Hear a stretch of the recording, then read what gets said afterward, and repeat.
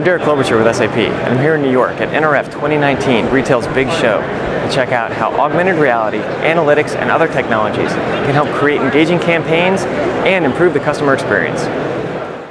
Social media has a tremendous influence on businesses. Organizations can use data from celebrity influencers and other sources to better prepare pre-marketing campaigns, deciding what and how to market to a specific demographic, pop-up shops using sensor technology and sentiment analysis to see what's working, and post-campaign analysis, examining data from the pop-up shop to evaluate the campaign's performance. Um, here we're looking at social media trends in the beauty industry. So celebrities like Meghan Markle, the Duchess, um, she wears a blazer and it's sold out within 30 seconds. And she has a big influence on the beauty industry as well. So her signature look is the smoky eye and a berry lip. So that is trending all over the beauty industry. And taking that one step further, you can actually identify products within your own assortments that fit this social trend um, that you're seeing on the digital boardroom here. And we could use these trends to choose the products we'll use in our campaign. We can also predict which products will sell best by region and even by store. So we can see the results here so that we know how much inventory we need, what our sales and profit are going to be before we even run this ad campaign. The pop-up store combines the customer's in-store and online experiences. So in this beauty store, usually when customers go there, they find a product, but they don't really know enough about it, enough the reviews. Is it going to work well with the sensitive skin? How many people are actually using it? But with some SAP technology and augmented reality, we can show that just by scanning this product, that all of that information that I want to see.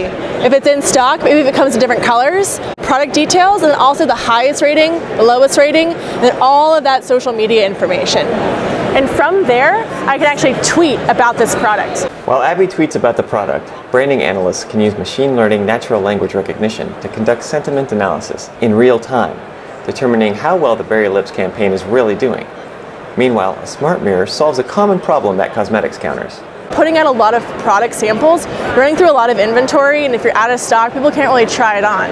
But with this virtual reality smart mirror, I can pick up this product, there are sensors in the lipstick tube, and I can try it on. See if I like this color, if it looks good on me. If not, I can pick another one up and really you know, have that dynamic interaction with the product without trying it on and getting it all gross. And each customer who picks up a lipstick tube generates data which offers insights into consumer interest in the product. How long is that average interaction? How long people looking at it? Match that against sentiment. So in this example, this plume pink color, not a lot of people like it when they do buy it, but they're really looking at it a lot. They're examining it. Maybe that packaging is really pretty, but it might be too expensive or might be, you know, not a good product. We can use that information for a new branding campaign or maybe a revamp of that product. Up here, great sentiment. People are loving it. We're doing something right there. But if no one was picking that up, how can we change our packaging? How can we change our branding to really drive that product because people do love it when they actually do buy it. So really, as we can see here, all of that really uh, reimagining how we can become an intelligent in-store experience. Another dashboard makes post-campaign analysis simple and intuitive. It's very visually appealing. So we have red as bad and green as good. So we can see here that sales were up over last year. This map in the middle, this is a store analysis. So this basically takes a look at each different store you have and understands how those stores performed during this campaign.